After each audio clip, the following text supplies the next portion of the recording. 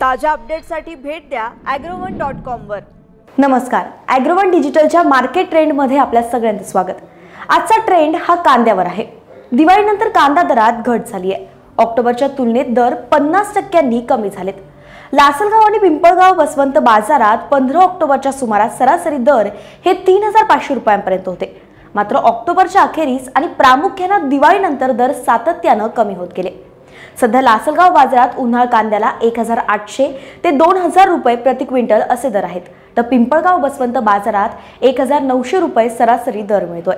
या दोन बाजारपेठांमध्ये दररोज सुमारे चार हजार पाचशे ते सहा हजार क्विंटल कांद्याची आवकही होतीये.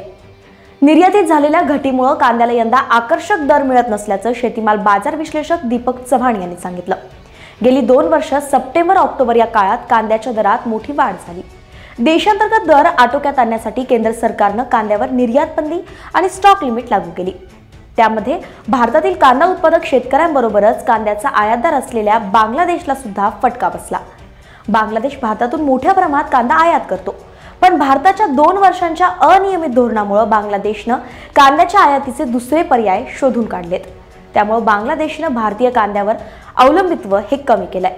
परिणामी कांदा उत्पादक शेतकऱ्यांना त्याचा भुर्दंड भरावा लागतोय. दुसरं म्हणजे महाराष्ट्रातील कांदा उत्पादकांना देशांतर्गत स्पर्धेचा सामना करावा लागतोय.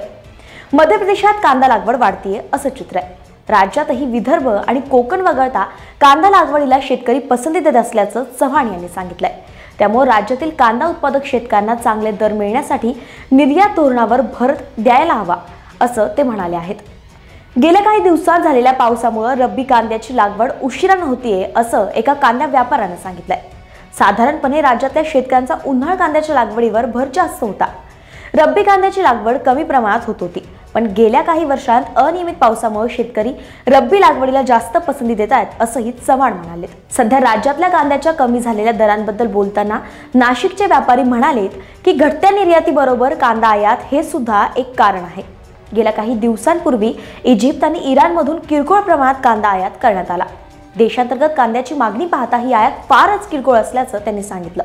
पण या आयातीमुळे कांद्याच्या बाजारभावावर सेंटिमेंटल परिणाम झाला असल्याचंही त्यांनी सांगितलं आहे.